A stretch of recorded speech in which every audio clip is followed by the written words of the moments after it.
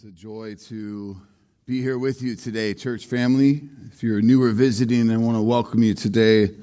My name is Joshua Kirstine. Privileged to be the preaching pastor here at Disciples Church, and um, the Lord is good and at work in many ways through the ups and downs of life. And however you found your way to be with us today, it's great to have you here. Um, we're in, in, our 134th year of gospel ministry here in Bakersfield. The long standing roots to the very beginning of the city and enjoying this new location that we're in last few years and God doing amazing things to grow our church and, and um, see that happening today uh, all around and families and marriages. And um, so we're excited to know you better and walk with you. Um, if you can grab your Bibles with me this morning and turn to the very back of your Bible and find the letter of First John if you need a Bible, we have some in the back of the room there on the bookshelf. You're welcome to grab that to use during the service. There's blank sermon notes back there if you're a note taker as well. And uh, we're enjoying this sermon series through the letters of John as we look at his emphasis of truth and certainty and love. Um, and as you turn there to 1 John chapter 5, uh, I just want to say it's a privilege to, to know you, church, and to walk with you, to grow in the Lord together, um, to know His truths and see them transform us in the power of the Holy Spirit, and the work of Christ. Um, I'm also very thankful this morning waking up in God's gracious work in my own life, um, especially in His providence, that I would become one in marriage with my wife Jennifer 23 years ago today. Um, May 15th, 1999. And uh, a special day it was. The smiles on her face say it well. Um, to, to become one for the glory of the Lord, for the testimony of what God intends marriage to be. I'm thankful for my wife's pursuit of Christ, his gracious work in us. And you all, your role in that, your support, your prayer, your walking with us uh, and uh, encouraging our marriage and looking to know the Lord and grow yourselves in all that He's called that to be uh, for His glory. So uh, may He continue that work in all of us. So excited to take some days off this week and get some time with her. Going to enjoy that. Um, no place I'd rather be than with you on Sunday morning to look to God's good word together. So let's do that. First John chapter 5. And we're going to look at verse 2 and 3 today. We'll have some scriptures on the screen to help you follow along, but encourage you to have your Bibles there and and dig in with me this morning. Our passage, 1 John 5, 2 through 3. By this we know that we love the children of God when we love God and obey his commandments. For this is the love of God, that we keep his commandments, and his commandments are not burdensome. Once again, John says, We know. When John says we know, he's talking to fellow Christians in this letter. We need to see he wants his Christian brethren to have confidence in these mighty truths about who we are in Christ and who we are in God. I mean, the very writing of these letters are John's effort to reassure the brethren who are the beloved children of the faith, to reassure them, to help ground them, to have real certainty of what is true, certainty and confidence of who we are in Christ. And in this, John seeks to safeguard his Christian blood bought family against any kind of spiritual amnesia. We need this too, church. We need it all the time. It's why our regular study of the Word and being faithful to hear the Word taught faithfully is, is so important for us. We need God's Word. We need the truths of God to reorient our thinking, to combat the plethora of deception and that's all around. It's all around. Our own flesh. The spirits at war with the flesh is, are realities that we face every day. We need to remember, we need to be reminded that we're no longer enslaved to sin. We need to be reminded that we now belong to Christ, that we're secure in Him, we're saved, we're part of God's eternal family as a result of His substitutional atonement in our place, God's grace to save us. We didn't deserve it. So I want to I want to not fly past this this morning. I want to take a second and really help us ground ourselves. As you think back years from now on this sermon series through the letters of John, and especially this first letter, I want you to remember where in Scripture you are reminded of certainty in your faith that you belong to Christ. And so take a quick tour with me. I'll put them on the screen. We're going to go pretty quick. Train's going to have some speed. I just want to run through the letter and all the times so far that John has said, we know. So just soak this up with me for a moment. 1 John chapter 2, going back to chapter 2, verse 3. By this we know that we have come to know him if we keep his commandments. 1 John chapter 2, 5 through 6. By this we may know that we are in him. Whoever says he abides in him ought to walk in the same way in which he walked. Chapter 2, verse 13 I am writing to you, fathers, because you know him who is from the beginning. I'm writing to you, children, because you know the Father. It says this again in verse 14 I write to you, fathers, because you know him who is from the beginning. Verse 21 of chapter 2 I write to you not because you do not know the truth, but because you know it. You know the truth. And because no lie is of the truth. Verse 29 of chapter 2 If you know that he is righteous, you may be sure that everyone who practices righteousness has been born of him. In chapter 3, verse 2, Beloved, we are God's children now, and what we will be has not yet appeared, but we know that when he appears, we shall be like him, just because we shall see him as he is.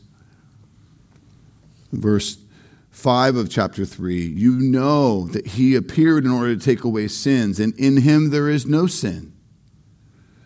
In verse 14 of chapter 3, we know that we have passed out of death into life because we love the brothers. Whoever does not love abides in death. Verse 16, chapter 3 By this we know love, that he laid down his life for us, and we ought to lay down our lives for the brothers. In verse 19 of chapter 3, by this we shall know that we are of the truth and reassure our heart before him. In chapter 24 of in, in verse 24 of chapter 3, whoever keeps his commandments abides in God, and God in him. And by this we know that he abides in us by the Spirit whom he has given us.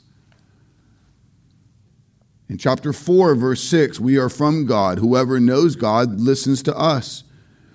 Whoever is not from God does not listen to us. By this we know the spirit of truth and the spirit of error. In verse 13 of chapter 4, by this we know that we abide in him and he in us because he has given us of his spirit. In verse 16 of chapter 4, but so we have come to know and to believe the love that God has for us. God is love, and whoever abides in love abides in God, and God abides in him. And our verse now today, 1 John chapter 5 verse 2, by this we know that we love the children of God. Christian, you need to know. You need to be confident in who you are in Christ. This is a great gift to us. We live in a very uncertain world, but in Christ you have been given certainty. And we need to, we need to grab hold of that confidence that we have in Christ alone. For those of you who stand outside of Christ, Lord of your own life still, considering Scripture, considering the church today, you, you, you don't know any kind of certainty. There is no promises, there, there is no guarantee. There is only certainty in Christ, in God.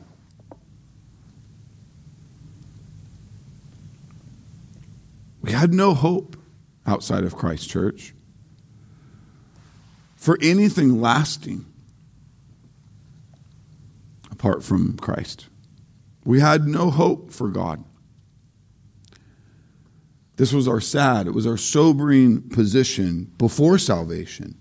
And it remains the truly sad and sobering position of all who remain outside of Christ. And so I just want to ask you, brethren, do you have confidence? not in yourself, not even in others around you, but in God. I want you to know confidence that you belong to God, that you're His, that you're secure. I want you to know truth in a sea of lies, in a world of deception. And, and that, that confidence, that knowing is a, is a sure foundation under your feet in the midst of all that we face. See John's love for his brothers and sisters in Christ. See him saying, We know. So let's look at what God wants us to be certain of in today's passage. By this, we know that we love the children of God. First, we have to understand it is impossible to love the children of God if we do not love God. And it's also impossible to love God if you do not love the children of God. They're inseparable according to Scripture. John made this clear just a few verses ago. We don't have to go far to see this. 1 John 4:20. If anyone says, "I love God," but hates his brother, is a liar. He who does not love his brother whom he has seen cannot love God whom he's not seen brother, sister in Christ, we're talking about the family of God here, you must do business with this this morning. You cannot proclaim to have a deep, abiding, growing love for God and then not have a true and deep love for the brethren, for the body, for his blood bought people, your eternal family, your eternal brothers and sisters in Christ. So, this is why so much of Scripture says make every effort for the unity to keep the unity Christ has purchased for us to have. He broke down the dividing walls that had us separate by economy and the streets we grew up on, uh, ethnicity and, and, and experience and all of that. He broke it down that we are a diverse people, a beautifully a beautiful mosaic that God has made the church. And He's given us a unity, and we are to fight for it. That love of God at work in us must be at work for each other. You cannot love God and not truly and fully love His people. And if you have business to do there, then you need to do it, Christian. You need to confess of sin and repent and pick up the phone and call for a meeting or overlook an offense. Truly, don't harbor it or forgive as you've been forgiven so that there's nothing between us. This is important. Genuine love for the brethren. By this, we know that we love the children of God. We must be confident in this church. We must know that we are born again. So, John is using the love for the brethren as an evidence that I am indeed born again as we talked about last week in verse 1, here in verse 2. So it is an important way that we would consider how we're doing in our walk, in our testimony, genuinely as the Lord's instructed us. So, on top of this, John is going to speak to now, he's, he's going to remind us of the love we are to have for God and each other. And he's going to speak now to another layer, another evidence that we truly belong to God, and that is that we now obey his commands in the way we didn't before we belonged to him. Look with me. Our whole passage without the end. By this we know that we love the children of God when we love God and obey his commands.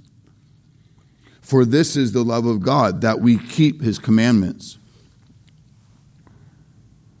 We know that we're born again that we love his children when we love God and obey his commands. And again, as John does in his letter, he's a good teacher. He's circling back to this. He's already stated this in different ways in the letter. I'll remind you of a couple. First, 1 John chapter 2, verse 3, John said earlier in the letter, By this we know that we have come to know him. How do we know?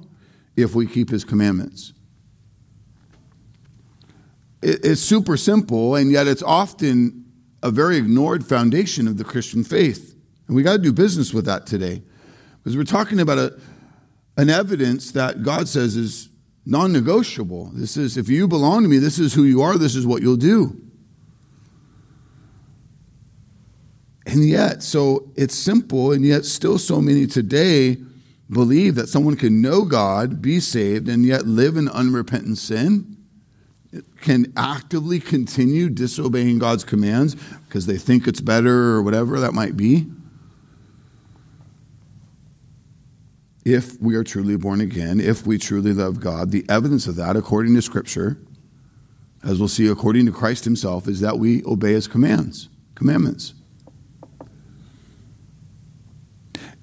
I say it's not difficult to grasp because when we do this different in any other category of life, it's quickly understood to be hypocrisy. let me explain. If you say you love your spouse, but then you live in a constant state of selfishness, of discord, of disregard for God's design for your role in the marriage, what He intends it to be, then do you really love your spouse? If you say you're committed to getting healthy, but you continue to eat junk food in extra large portions, are you really committed to getting healthy? If your kids say they love you, mom and dad, but then they're just constantly in a state of disobeying you, do they really love you when God's word makes it clear that they are to obey you? It is just simply not true love if it's not backed up with the way we live our lives. We can say anything, but what, what is it real? It is hypocrisy to say that you've died to self, now joyfully belong to Christ, but then you reject Christ's authority over your life, to reject his good commands over your life. Like I told you, he's mentioned this in multiple places. Look with me at chapter 3 of this very letter, John 3 24. John says, Whoever keeps his commandments abides in God and God in him. And by this we know he abides in us and by the Spirit whom he's given us. It's another great reminder that helps us climb into this fact. When God gives us new birth, if you missed last week's sermon, it's on our podcast, on our website. I encourage you to get it. It's the opening verse of chapter 5 and very foundational for what we're now working with in chapter 2 and 3 and beyond. We talked about what is new birth, how essential it is that what is dead and depraved must be made alive by God to see our sin and trust Jesus with our lives. It's when God gives us new birth, the Spirit, the Holy Spirit, comes on board to invigorate our soul spiritually. We didn't have that. And what we also gain in that is motivations to not live according to the flesh anymore, but to live according to what honors God motivations I didn't have without the Spirit. Right? When I was dead in sin, that's all I did was sin. Even the good I did was sin, Scripture says. It wasn't under the glory of God. But what's cool is the Spirit doesn't just motivate us to obey God, Spirit causes us to motivate God, to, to obey God. And, and there's a sweet place, we see this in Holy Scripture and that's back in that Old Testament passage in Ezekiel chapter 36, 26 through 27, where we have a wonderful definition of what new birth, spiritual birth, looks like.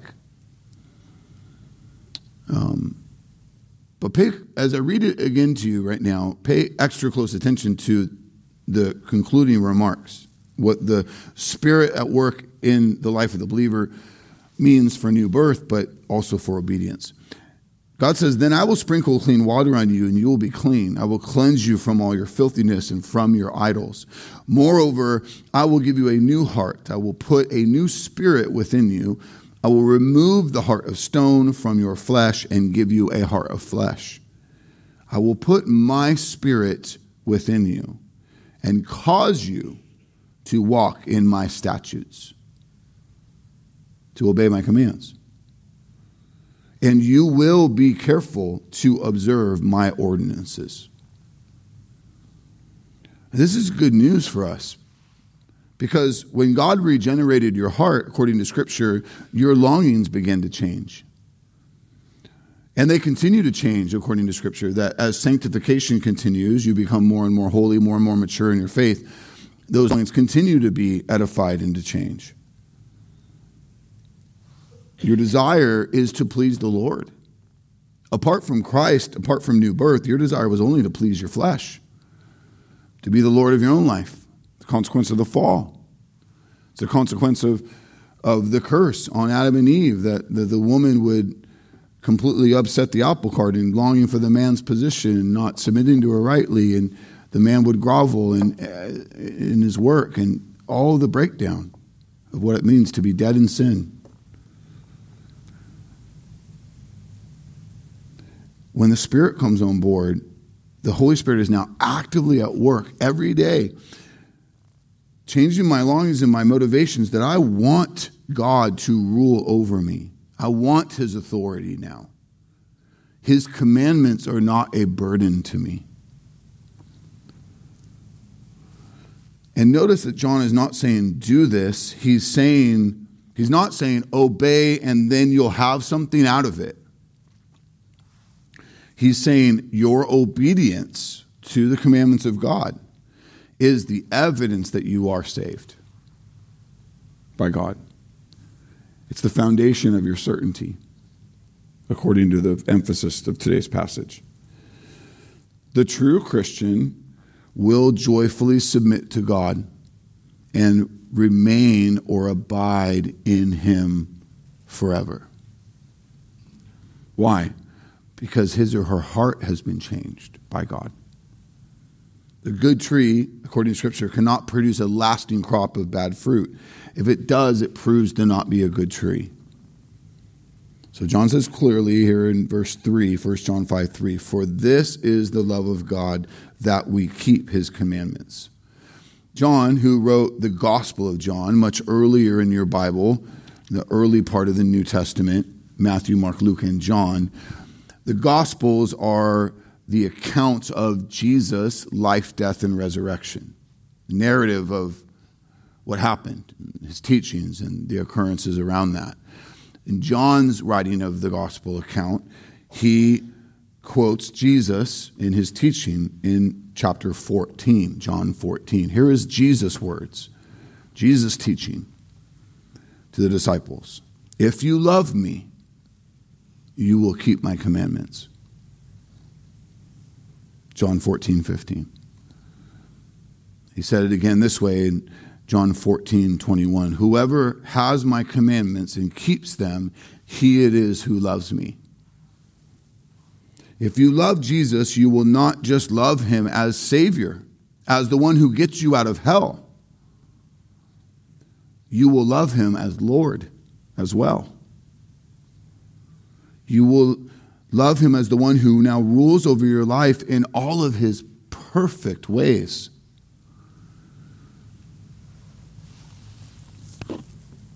The problem is that many misguided or misinformed people are quick to say, we don't really need to take God's commandments that seriously. And as outlandish as me saying that that simply sounds to you, you actually might relate to it a little more than you realize you do in any of the things that God makes clear in Scripture that you've decided to do your own way.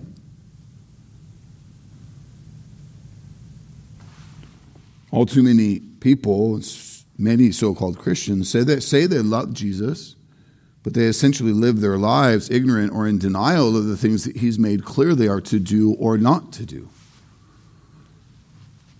Church, this cannot be. Jesus said clearly, If you love me, you will keep my commandments. God's laws and God's commands are so good for us that they are truly good and beautiful and worthy to be followed, trusted. Jesus says, If you love me, you will keep my commandments. Listen to the, uh, this theologian's quote regarding that verse, that statement of Christ. This gentleman says how this verse rebukes the increasing antinomianism of our day. I'm going to define that for you in a moment. In some circles, one cannot use the word commandments without being frowned upon as a legalist. Multitudes are now being taught that law is the enemy of grace, and that the God of Sinai, the God of the Old Testament, is a stern and forbidding deity, laying on his creatures a yoke of grievous to be borne. Terrible travesty of the truth this is, he says. The one who wrote upon the tables of stone is none other than the one who died on Calvary's cross. He who here says, If ye love me, keep my commandments. And also said at Sinai, He would show mercy unto thousands of them that love me and keep my commandments. Now, maybe some of the language there tips the hand a little bit to reveal. The early parts of me reading that, you quickly go, That seems to be, was that a blog that I read yesterday? Right? But that was written by A.W. Pink 100 years ago.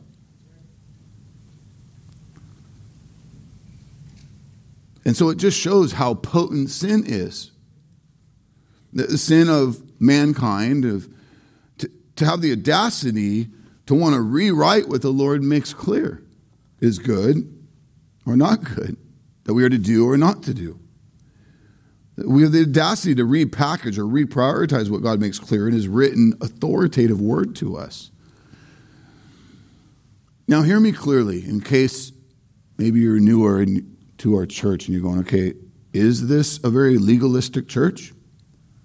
Right, let, let me state clearly the historic doctrines of grace.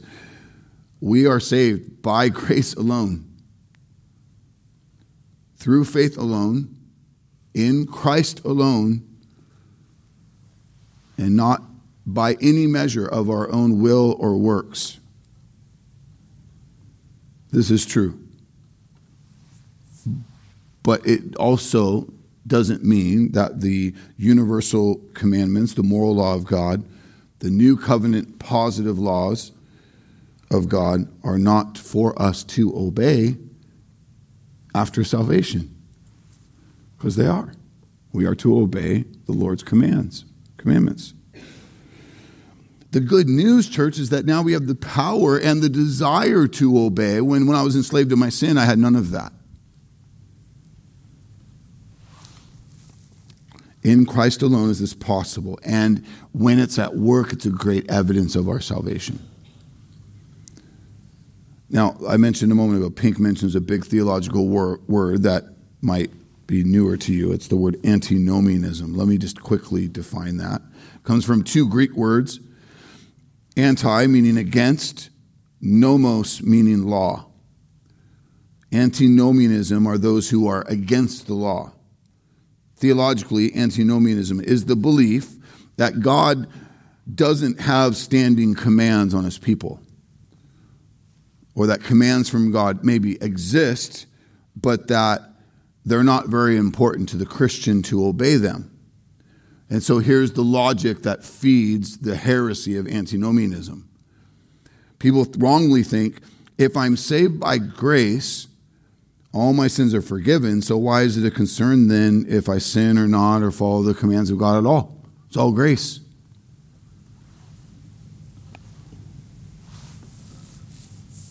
That thinking is not the proper response of true conversion because true conversion, true salvation, produces a genuine and ever increasing desire to obey God's commands.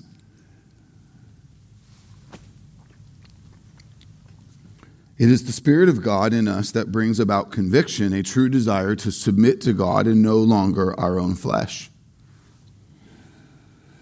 There's a nuance here that I really want to make sure you get. The result of regeneration means the sovereign God gives us a new heart, new desires. The tree of life will go on to produce good and growing crop of God honoring fruit and obedience. That doesn't mean perfection. It doesn't mean the Christian won't have days or even seasons of really struggling in sin. A true Christian will struggle. A true Christian will sin. A true Christian can even do grievous sin. A true Christian can languish in seasons of real immaturity. The difference between a true Christian and a superficial, not saved person claiming to be a Christian is the true Christian will not stay there. They will confess their sin, they will repent of it, they will grow out of that struggle or season as they move forward in Christ. There will be real production of God honoring fruit. A real trajectory of growing sanctification. Even with the struggles and stretches of life where there is real backsliding, there is a true upward trajectory of sanctification. And here's why Scripture is clear God keeps those whom He saved. It is a modern, misguided, false reading of the Holy Bible to think that someone can have salvation and then work their way out of it. That somehow God's batting average is not a thousand percent. It's not biblical. All those whom He's given to the Son, He keeps, has, secures them. So, this is helpful too. But we must be aware of antinomian thinking and doctrine infecting our, our minds, our lives, our families, or even the church. Let me show you how this can play out. Antinomianism can play out in the modern church or in modern Christianity. Let's say someone you know who is a professing Christian is seen or caught in sin, and you faithfully love that person to call their sin out, to reorient them to the gospel, to walk with them, to call them to repent and trust and obey God. That is, according to Scripture, the loving thing to do for a fellow believer. But then another person says, Whoa, who are you to say that, to do that? And they'll say, Where's your grace? You, you have no position to judge them. Just pulling out of context verses as well. Church, all that kind of thinking is rooted in a misapplied antinomian fashion that has infected, again, a lot of modern people's thinking. It, we are saved by grace alone, but the evidence of the saved is desire and doing of the will and commands of God. Jesus is clear if you love me, you will keep my commandments. It is not loving God to disregard God's commands to not heed the authority of Scripture over your life. And it is also not loving the person to watch a professing Christian continue to walk in unrepentant sin. These are ideas fueled by bad teaching and misguided churches or people's own just constructed view of how the law and grace work.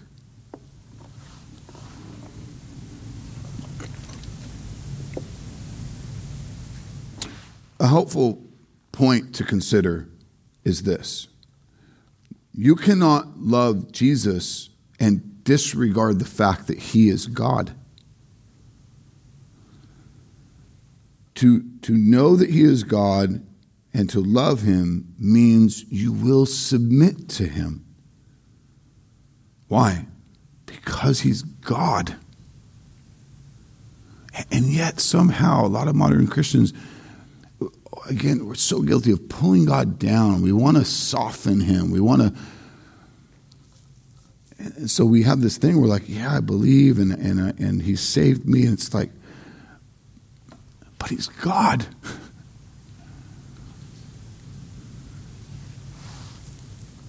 to say you love God means you love to be ruled by Him. To love Jesus is to love His rule, to love His authority in your life which means you will keep his commandments. Percy Hayward's another Bible scholar of the late 1800s, early 1900s, a Christian contemporary of A.W. Pink, who I read earlier, J.C. Ryle. He, he says this well. I've read it to some of you before, but helpful. He says, All sentimental talking or singing about love are vain unless by grace we show a truthful obedience there is more hypocrisy than we suppose. Love is practical or it's not love at all. Now, please note, he says, by grace we show truthful obedience, right? We don't, we don't obey, we don't do any of this without the grace of God, the power of the Holy Spirit at work in us. Praise God. We obey because we're redeemed, because we are given the power of the Holy Spirit. We're given a new heart for God.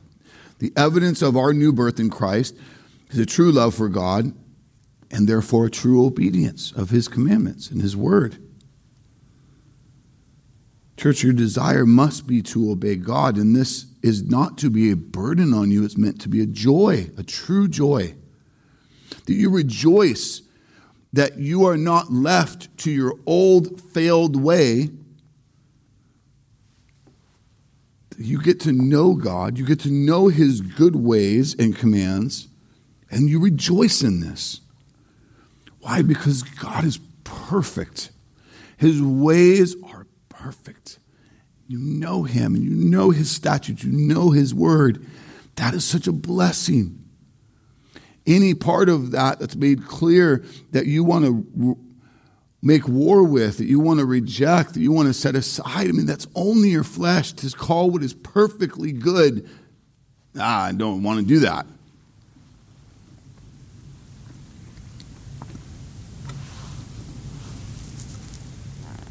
And so, in that, we make it so much about us. Don't make it about you. Don't make it about what you want. Don't make it about what you don't have.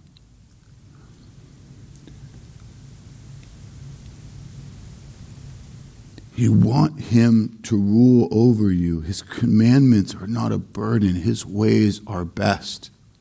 You trust him. That's what your faith in him is.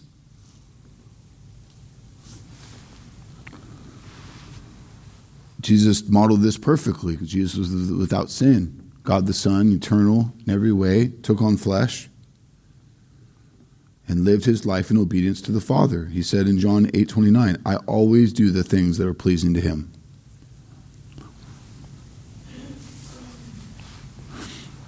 And, and, Jesus loves us so well. In his famous teaching in Matthew 7 24 through 27, you're going to recognize this, but hear it fresh this morning. Everyone who hears these words of mine and does them will be like a wise man who built his house on the rock. And when the rains fell and the floods came and the winds blew and beat down that house, it did not fall because it had been founded on the rock. But everyone who hears these words of mine and does not do them is like the foolish man who builds his house on the sand. The rain fell and the floods came and the winds blew and beat against that house and it fell and great was the fall of it.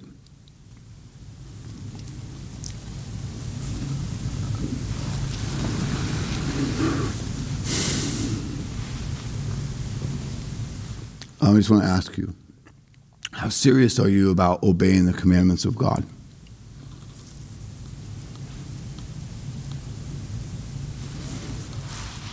Because there are likely some areas where we've come to know Scripture to speak clearly on an issue, and we've found a way to get busy and set it aside, repackage it in our own ways. We choose to digest it so that I can feel good about what I'm choosing to do. Instead of just genuinely desire to do it His way and not His way rewrapped in my way. And for some of you, those crossroads are major. To be faithful to a covenant of marriage until death do you part when your spouse has completely abandoned you or is serving time in jail or whatever is going on. To be honest in the stewardship of your money when finances are incredibly hard. You choose to be upright and to do what's honoring to God. To stand up for truth amidst your most precious family members, even if it means that relationship ends, they hate you. Some of those crossroads are really hard. And while the commands of God, the ways of God are so good, they're perfect, doesn't mean that the road in obeying them are easy. Sometimes they're very costly, very hard. But they are good, they are right. How foolish we are, Jesus uses the word, to disregard what he makes clear and say, I'm going to just do this my way. I mean, don't we do that? We, we see situations pretty clear about it, like, no, but it, yeah, that's going to cost so much. It take way too long. I don't, can't, I can't. We, we say that all the time. I'm just going to do it this way. I'm gonna, we're going to go this route. It's going to be so much better. It'll be quick.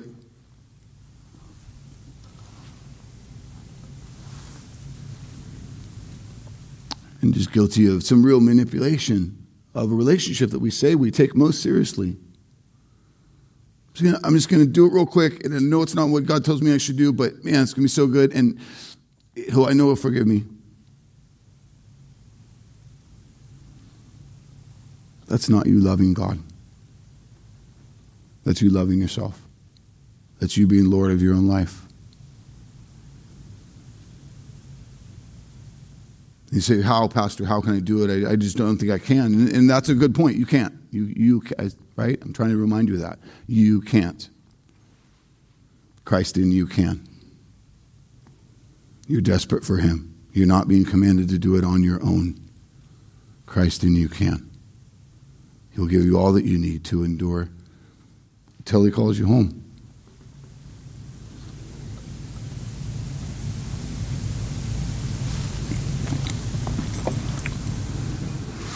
How do we know what God wants us to do? If we're going to obey His commandments, we've got to pause here and think about this for a second. It's a really important question that often is also very manipulated. How do I know what God wants me to do? I'll hear Christians say, God is telling me, or I'll hear Christians say, God is leading me, or hear them say, God is pressing upon me. And I think there is a biblical way that all that can be true. I also think there's a way that it's often not true. We'll be careful that we're looking at that rightly. And so here's how we test it God tells us all he wants us to know, according to Scripture, in his word. God speaks to us through the faithful preaching of his word, through our faithful study of his word, and through the work of the Holy Spirit to draw to our memory his word. When you are thinking like I'm feeling the Lord pressing this, all that is is the work Holy Spirit to remind you of what He has blessed you with in His Word. He's never giving you new revelation there. It's very unbiblical way to think about it. God speaks to us faithfully in these ways in the Word. He's not telling you something that is outside of His Word. He's not bringing you new revelation nor should you be looking for a new revelation. Here's why. I'm not telling you that on my own opinion. Why don't we need a new word? Because of what his word tells us. All scripture is breathed out by God and is profitable for teaching, for reproof, for correction, for training in righteousness, that the man of God may have most of what he needs to know, but when it comes to some things, he's going to be lacking. No, right? So let's not add that to the text because that's the way sometimes we're guilty of thinking about it. That the man of God may be complete, equipped for every good work. You don't need a different word. You don't need a new word. You have all that you need by the perfect and holy God in the holy word. 2 Timothy 3 16 and 17. In other words, all that God has ordained to tell us that we need for teaching, for our reproof, for our correction, for our training and growing in righteousness, making the saved person complete and fully equipped is found in Holy Scripture. Scripture is clear to warn us that there's nothing that needs to be added to that which has already been clearly preached and written by the prophets and the apostles. Church, we need, we know what to do and what not to do because God has loved us well to make it clear in His written word. This is a great gift. By this we know that we love the children of God when we love God and obey his commandments. For this is the love of God, that we keep his commandments. And his commandments are not burdensome. Consider that with me. His commandments are not burdensome. For many people, for many generations, religious commandments have been heavy burdens. Likely you relate to that statement somewhere in your journey the rules of what you perceive to be related to any kind of religious instruction were heavy on you. They're impossible to meet. So heavy that many people refuse to submit to them, become miserable if they're trying to submit to them because they're never able to fulfill them. Constant in disappointment. So it's important that we, that we see why man made religious commands feel like heavy burdens and why a mis um, application of trying to fulfill God's good commands wrongly is also like a heavy burden. So let's break into it this way. Many of the rules we think we need to follow are not from God, they're from man. They are man made, they are pharisaical, they are extra burdens. The regulations of the scribes and the Pharisees were heavy burdens to bear. Jesus spoke specifically to this, Matthew 23 4. They tie up heavy burdens, hard to bear, laying them on people's shoulders. They themselves are not willing to move a finger.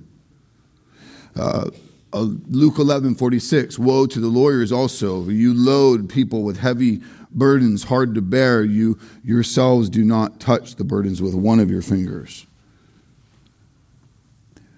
So, this is why the elders of our historic church have efforted over the last 15 years to be faithful to attack any of the man made stuff that we took on. Because it's not needed. We, we don't need the church to be God's way and man's way. We need it to be God's way. And so we had to begin to address man made traditions and bad doctrine and bad practices of the church and all this one by one took a lot of years. If you're arriving today, you're arriving on the sweet end of a lot of work. By God's grace, we're here. We don't value man made traditions or rules. We value and obey God's commands and we as we understand them from Holy Scripture. So many of you your, your story relates to the heavy burden of religious commandments on you because you grew up in a Roman Catholic environment who is staunchly guilty of adding tons of rules to Holy Scripture so that they can control the whole thing. The reformers died for generations to call it out. We stand on the life, work, death of many faithful ones who said, here's what it is to be committed to Scripture alone and not also to these added things that the church has put in place. Some of you maybe grew up in Jehovah's Witness, or you grew up Mormon, you grew up Pentecostal oneness, or maybe just uber technical, legalistic churches that just had a lot of stuff or even churches that were really great on, in so many ways, but were guilty of a lot of man made ways of doing stuff. Please understand that we talk about righteous obedience to God's law and commands, we're not ever talking about extra biblical traditions or rules because these, according to Scripture, are only heavy burdens on you. praise God that we have so many here who have come to know the sweet blessing of what it is to be under the authority of God and His Word alone, and no longer to be weighed down by the traditions and rules of man made religions, beliefs. So when you think his ways are not burdensome, you, that's the first thing. You got to separate all the stuff that you thought were like things you have to be doing that are extra biblical. Number two,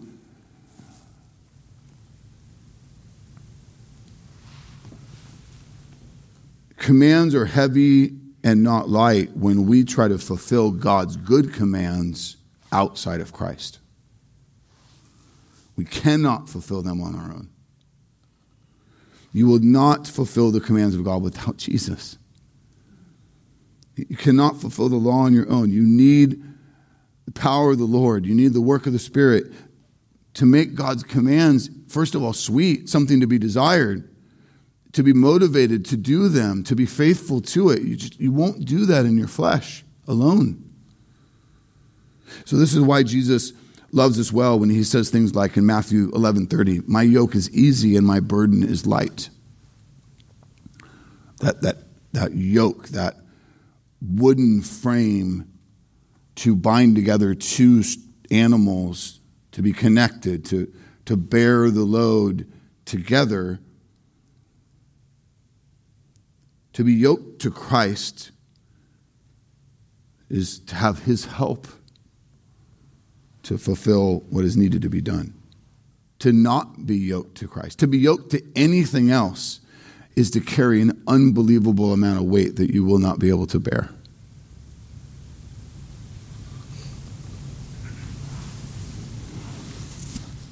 Some people have read that my yoke is light, my burden, um, my yoke is easy, my burden is light. Some people have read that to be like, what Jesus is saying there is like life with Christ, prosperity gospel nonsense. It's just easy street. That's not. He says, my burden, commandments. Uh, no, there's still things to do. There's still life to live. There's still suffering that we partner with Christ in. Jesus died to save you from hell, not to save you from the cross. That's Christianity according to Scripture.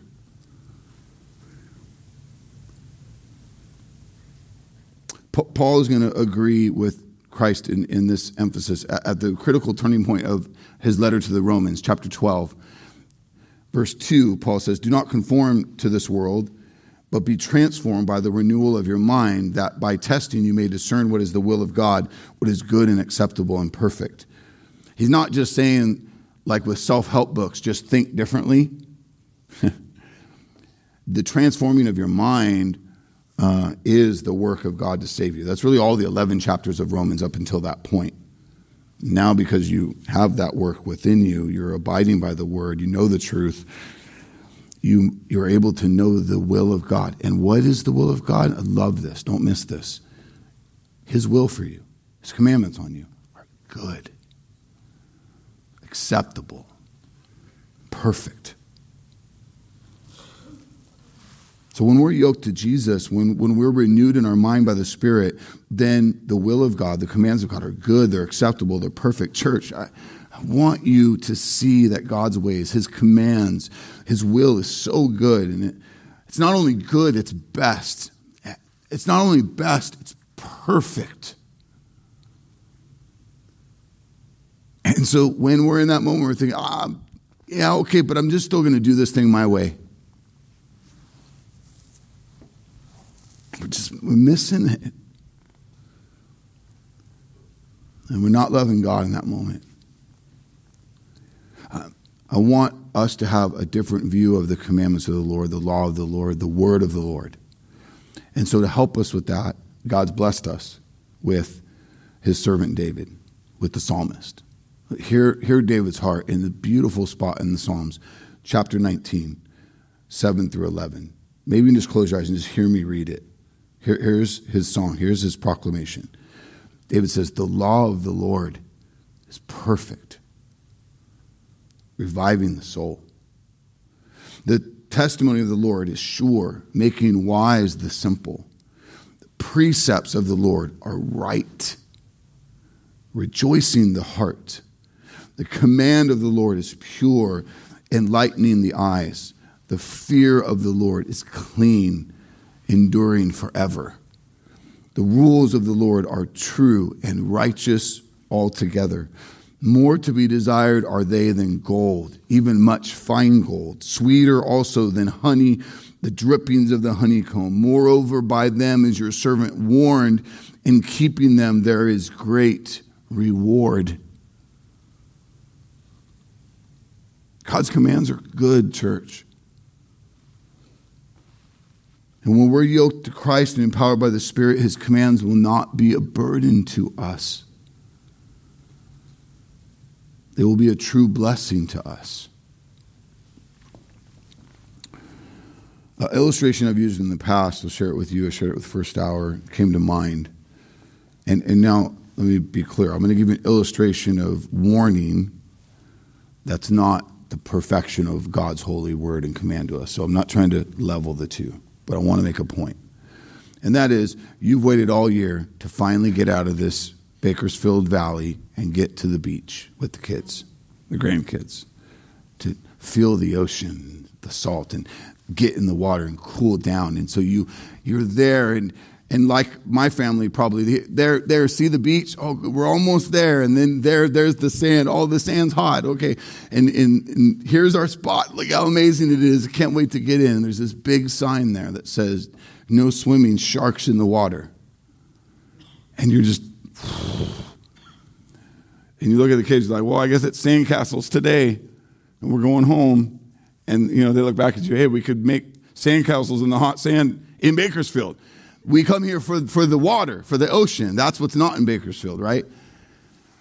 And there's a way that that good warning could, could just, you just be deflated and everyone's miserable and grumpy and groaning and how terrible. How was your trip? It was terrible. We didn't get to go in the ocean and blah, blah, blah, and all these things. How terrible, how terrible. And I'm down and I'm low and I hate it. And, or you can rejoice that you were loved and warned that sharks were in the water, so that your testimony at the end of that day was not woeful tears that your spouse and your three kids and their friends all got ripped apart by sharks. There could be a real rejoicing in you. What a blessing that I was loved and warned rightly, and my family was kept from great harm. We enjoyed the sand and the beach and the cool air, and God is good. What we read from David here is rejoicing, seeing the blessing that his commandments, his ways are.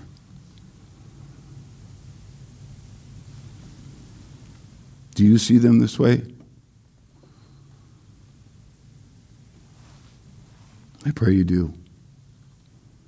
I pray that when you are at a crossroad and you're considering appeasing the flesh or the, the fear of man to, to do what someone else wants you to do or the rationale of your own mind instead of trusting God's good revealed will, command for you, you really stop and remember His ways are good. My ways are dumb. Really, right? I think most of us in the room been old enough to look back and see a lot of stuff that's like, no, I'm so glad that didn't go the way I wanted to, or it's so regretful it went the way I thought it would be best.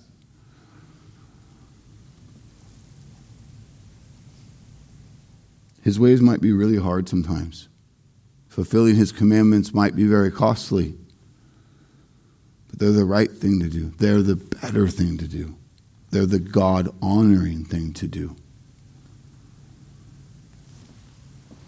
You know when the commandments of the Lord become burdensome for us? Is when I'm really just really more interested in serving my own will. When I give way to my flesh, my sin, my, my emotions, I set Christ aside. When I stop abiding in his good truths.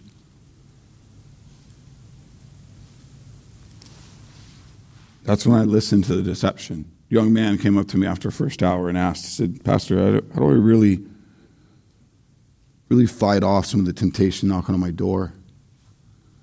Really do what God's telling me to do and not give in. You got to be abiding in the truths of the word. Are you are you abiding in it every day? Why? You need to be reminding your heart and your soul what is true. Because the, the world and the enemy is landblasting you. It's just full front assault of deception and lies. You got to be equipped to combat that. No, that's nonsense. That's I know you're selling that as really good, but I ain't buying. I'm secure in the Lord. I'm walking with the body. I'm accountable to other brothers and sisters so that, you know, I said, don't go at this alone. Don't walk the, the valley of the shadow of death alone. You press into Christ in His Word and prayer, and you walk with the body He saved you to. If you're a lone ranger and you call yourself a Christian, you're doing it all wrong.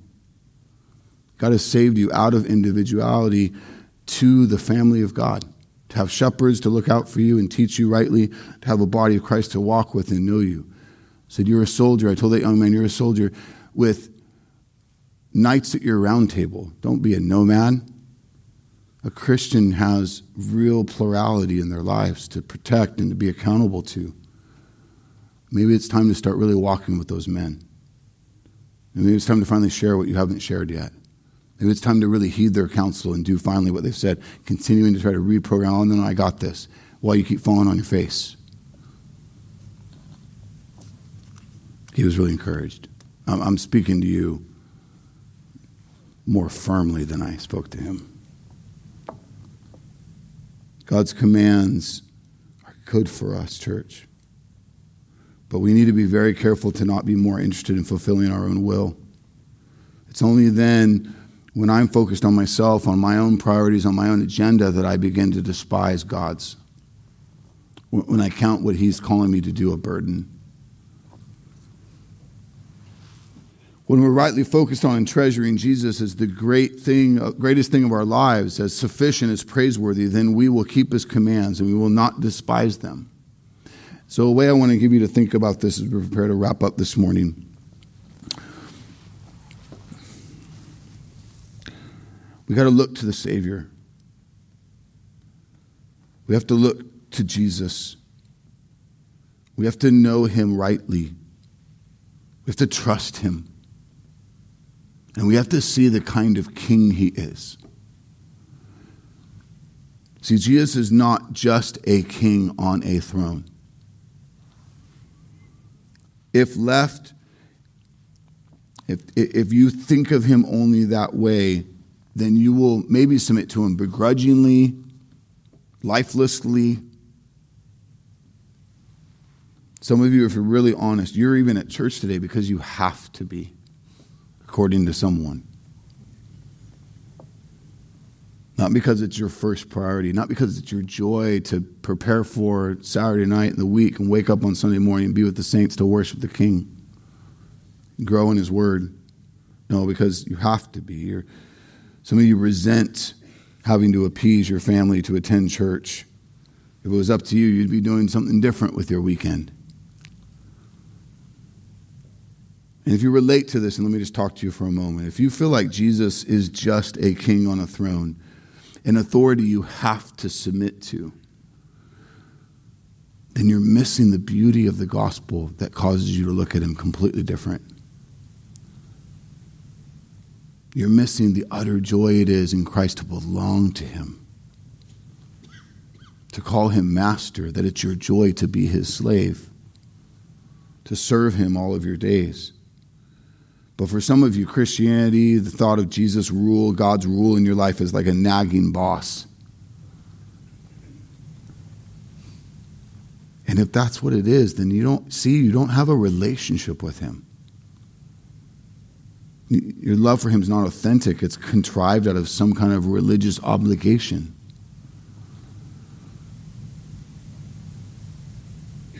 If all you see in Jesus is religion, if all you see is orders coming down from the boss that you have to submit to, then you're missing the power of the gospel to give you a whole different approach. So, hear this Jesus is not only a king, he's the king, the king of kings. And yet, in all of his unmatched authority, he went very low. He got low. He humbled himself to take on flesh, to die on a murderer's cross, to save an, an incredibly undeserving people is a king who came not to be served, but to serve and to give up his life as a ransom for many. You need to know him this way. You need to know the beauty of the gospel, God's love and grace, through the life, death, and resurrection of Christ. If Jesus to you is only the means to an end, then you don't love Jesus, nor will you joyfully obey him. Why? Because you still live for something else. You're still an idolater. You only love what he gets you. If Jesus is the Lord of your life, though, if he is your joy, if he is your identity, then he won't just be a king, he'll be your king. And it will be your utter privilege in your life to serve him, to live for him. And then you won't come to him with your own desires and ideas of how this should transpire. You won't be guilty in sin of saying, God, how dare you? No, it's his. It all belongs to him. Everything you have, everything you are belongs to him. It's your joy to serve him. He's bought you at the high price.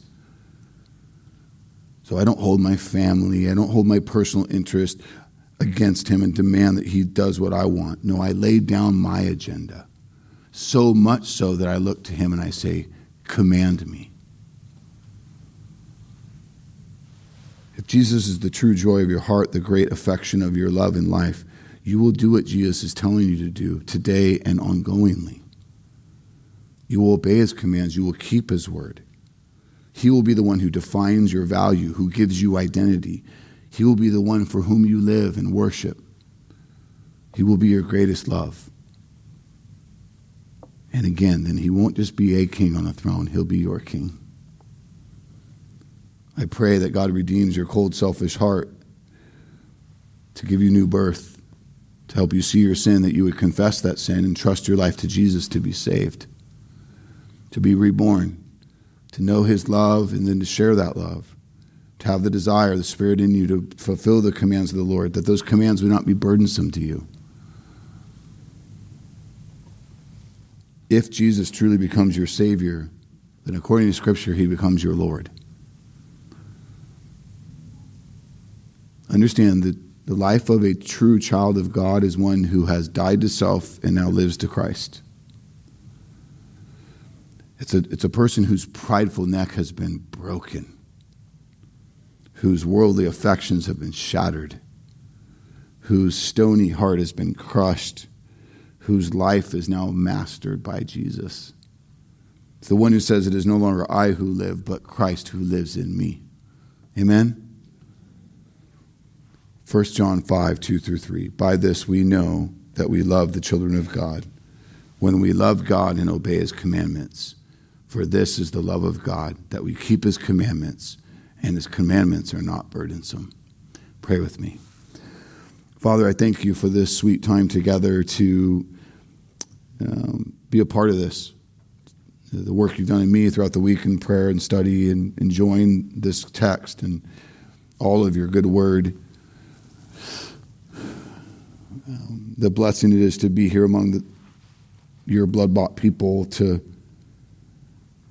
to worship you, to, to do business with things that we've maybe pridefully, ignorantly, sinfully put aside. And, and that's you loving us. That's your mercy to draw us to yourself, to, to remind us that your ways are good, that we would put down all of our deadly doing and all of our prideful agendas, and we would just truly, joyfully grow in Christ and sanctification unto obeying you. And the evidences of these works in our lives would be a great certainty to us. Um, be, a, be at work in and through us, Lord, so that the light of the gospel is at work in those that are in our path. And more than anything, Lord, be glorified. Because all of it, all of who we are, all that we have, all glory be to Christ. All glory be to Christ, our King. In Jesus' name we pray.